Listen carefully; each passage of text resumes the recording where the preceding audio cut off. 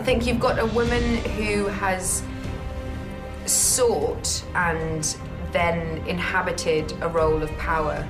And I think that that just in itself is something that, um, from a social perspective, is not the norm, hasn't, hasn't been the norm for the progression of the 10 years that this movie's been, the, the, the TV show's been, been playing for. So I think that there are I think it's the I think the thing that that that I would imagine that people would women would look to in that is a, a female who is unapologetically asking for power and being given it and dealing with it.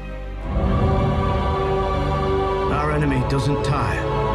But I think the, the thing that really, the, the truth of it and the truth of the show, and the thing that is most unifying about the show is the is what the role of power plays, and um, and Daenerys is a powerful mother. Like Well, I think she's misunderstood as in she's not just an evil sorceress. I mean, uh, I think that she, because of her age and because of the fact that she um, has seen so much, she also sees what's ahead of us and has done sort of more of an overview and therefore wants to basically protect. But her methods and her uh, the sacrifices that they have to be made in her eyes are cruel.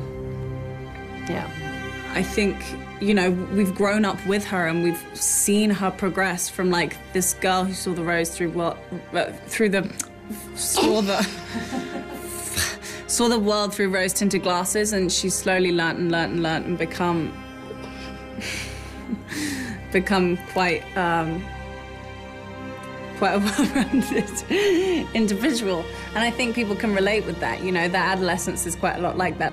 I had um, been fr- frustrated for a long time, probably since I was a teenager when I first developed any sort of real consciousness of the world around me, um, extending outside of my own immediate existence, of the kind of roles that were available to women. Um, and here was a part that was outside of the norms of what I saw on TV shows. She was a, a woman that was described as hideously ugly, um, abnormally strong. Um, and she also was uh, not vivacious or um, sassy or, or particularly outspoken.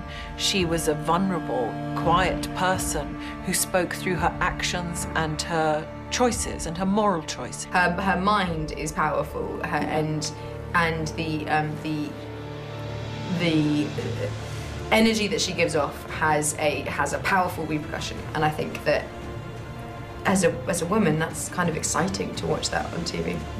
I don't think I prefer either one. I think they both inform each other, you know. So, uh, as humans, we have rage and we have calmness and everything in between. So, I think it's just that the colours of who she is being played out. Um, I really enjoy doing the battle scenes. They're very challenging and exciting, and and uh, I really enjoy the more intimate, sort of connected scenes with another actor.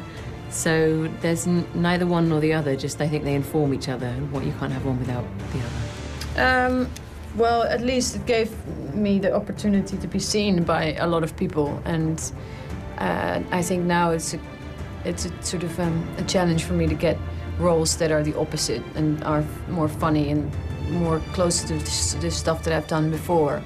You know, I've done a lot of comedy, and there's not a lot of comedy in Melisandre, so I have to really counter.